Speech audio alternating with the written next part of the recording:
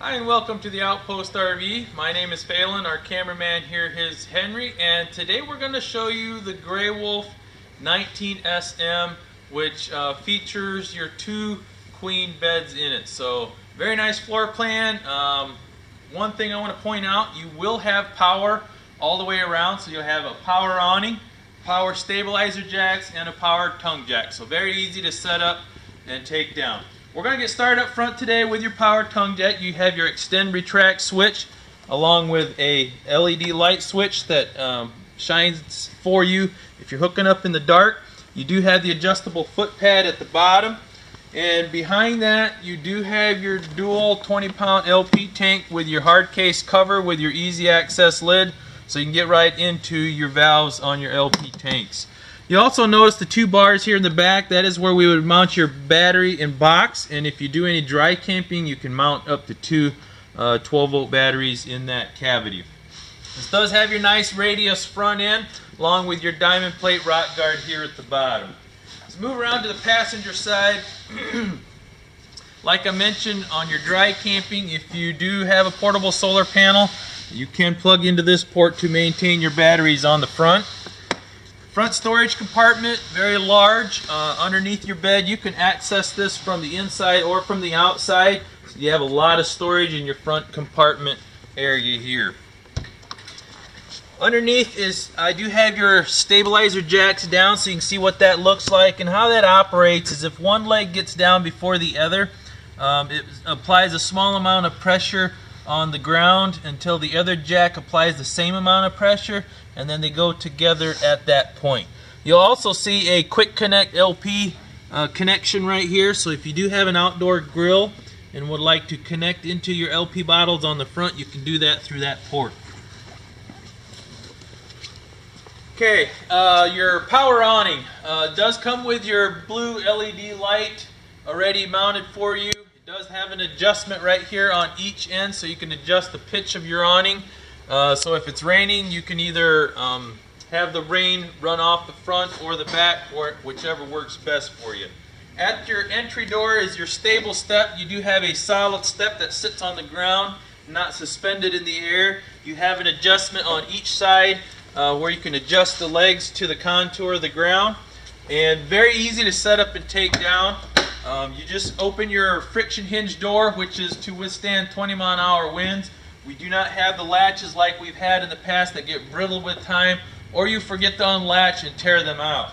But basically, you open your entry door and you fold your step up. There's a latch on the left hand side. You close your door, close your grab handle, and you're ready to go. So very easy to set up and take down. Outside entertainment, you do have blue LED uh, speakers on the outside that you can turn off and on with a switch on the uh, on the inside. Your TV mounting bracket here in the center is compatible to the one on the inside, so if you like to take the TV from the inside, slide it in out here, you could do that, and then you have your connections over here on the left. You do have your uh, what they call the mag rims along with your radial tires. Uh, you also, I removed the center cap so you can see it is an easy lube axle along with your self-adjusting brakes. And also, you do have your tire pressure monitor caps on here. You'll notice the number 65 on there, showing the tire pressure that needs to be in the tires. And also, if I loosen this and your tire pressure gets low, that will turn to red. So you do have a visual when your tire pressure does get low, so you can see you need to add air. Okay, we're going to move on around to the back. This does have your slide out, slide room in the back that comes out. This would be where one of your sleeping areas are. Then you'll have another uh, mattress in the front. You do have your 4x4 inch tube bumper. You have end cap on each end. That's for your sewer hose storage. You do have a travel rack that is included with your spare tire mounted on there. You can remove a clip on each side, fold it down, reinsert the clips, and then you can um, store your totes uh, on that rack for your travel. Okay, we're going to walk around the back to give you a visual of what it looks like with the slide room out. And move on over to the driver's side. Um, over here is your hookup center and your dump station. You have your 30 amp connection here Uh, this does come with a detachable cord, so it's a separate cord, not one that you're trying to pull out or shove back in, uh, taken away from storage on the inside. And then you have your hookup center here. They do mount a porch light right here by your hookup and dump center, so if you happen to hook up after dark, you have light there for you. You have your outside shower with your hot and cold, your black tank flush, which is uh, designed to clean out your black tank after you dump. There's a sprayer on the black the back side of your tank. So if you connect a water hose to this, that will rinse that tank out for you. You also have your cable hookup as well. And underneath the shower here, we have your city fill and your freshwater connection.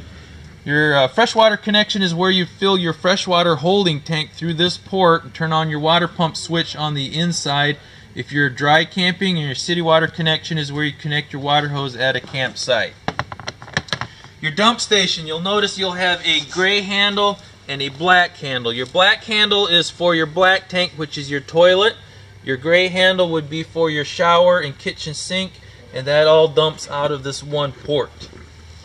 And then lastly, on the outside, you have your six gallon gas electric DSI water heater. DSI standing for direct spark ignition and you can heat up to 10 gallons of water with gas or electric and 16 gallons of water with a combination of both. If you come down and look, there's you'll notice a on and off switch on the lower left hand corner. That is the electric side of the water heater. Then I'll show you the gas switch on the inside. And always remember to have water in the water heater before you turn on the electric side so you don't burn up your heating element. I believe that concludes the outside of the Grey Wolf 19SM. And now we'll move to the inside. We have your queen mattress in the front, along with a wardrobe and a bunk above that. Your bathroom on the driver's side, and then you have a refrigerator, pantry, sofa, dinette, another bed in the back, and then your kitchen immediately to the left.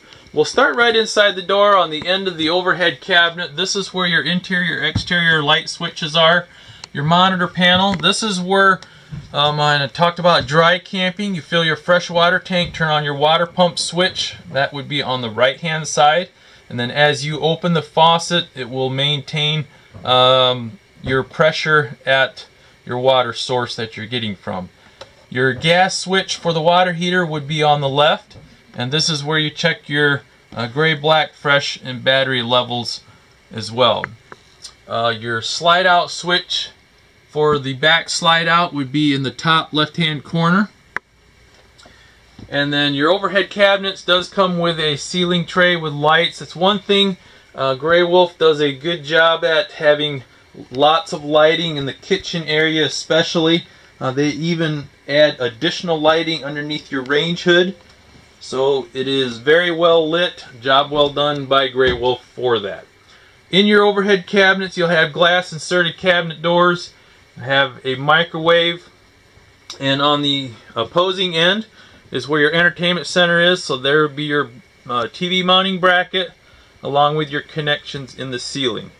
In your base cabinet you do have your glass drop-in cooktop along with your oven and you'll notice on the right hand side there is a light switch for your uh, blue LED lights around each burner knob and the purpose of the glass drop-in cooktop is giving you more countertop space when you're not using your stove. This is also um, a bifold cover that folds back and also serves as a splash guard. And that is a three burner stovetop. Again, the same purpose of the kitchen sink cover.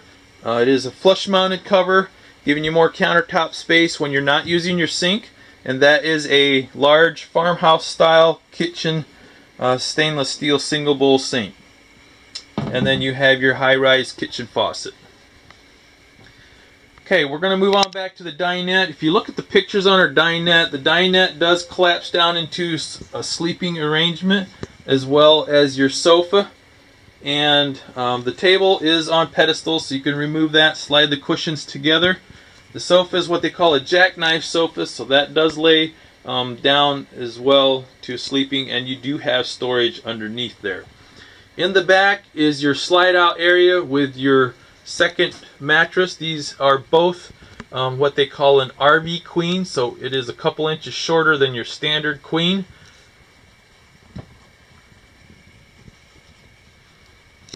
And then we're going to swing on over to the pantry and the refrigerator area. So you do have a pantry that goes from floor to ceiling. Your refrigerator is has your um, separate freezer compartment and this would be 110 and gas and it is automatic so if you do have a power failure and you have your LP bottles turned on it will automatically kick over to your uh, LP source and continue running. You also see there is a skylight in the kitchen area. It does have a uh, shade so if you'd like to close that up because you don't want any sunlight coming in you can do that and then your bathroom um, is right here to the left. This is your thermostat, which would run your furnace. Inside the bathroom, you have your toilet, which gives you leg room. And then you have your vanity, along with a medicine cabinet, your Creative Breeze fan, skylight over your uh, tub shower combo surround here. And this does have your larger pan. It's not your cramped tubs that they used to have in the past. So you do have a lot more uh, room in this shower pan.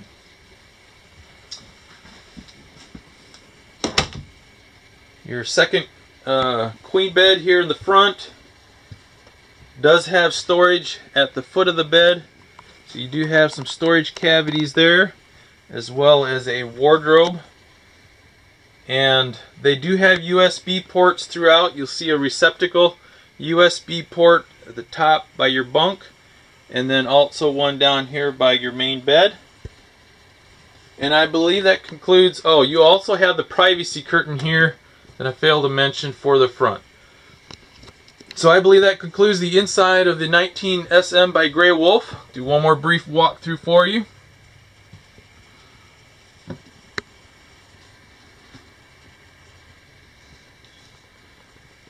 And we are the Outpost RV. You can contact myself or Henry at 866-338-9845. Again, my name is Phelan, and thank you for watching.